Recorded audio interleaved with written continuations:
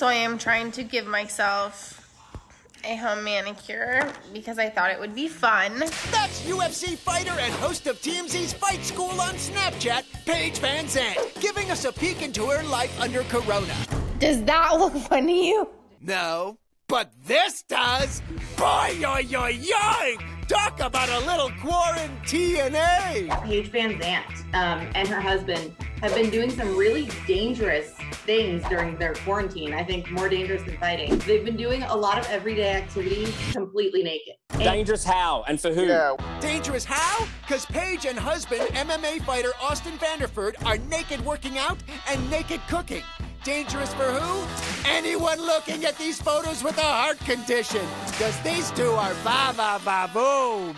They're working out with weights and like plates of weights that come down.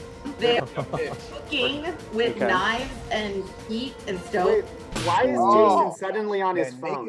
I am I, I'm looking up Paige VanZant. I, I gotta go. TMIO, the phone, yes. But back to Paige and Austin. It is dangerous now.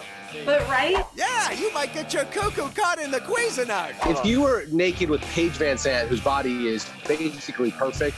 Oh, he's back. Yeah. You could stand running the risk. The perv has a point. You look so much more relaxed. really? hey, what happens in quarantine stays in quarantine. Bon appetit!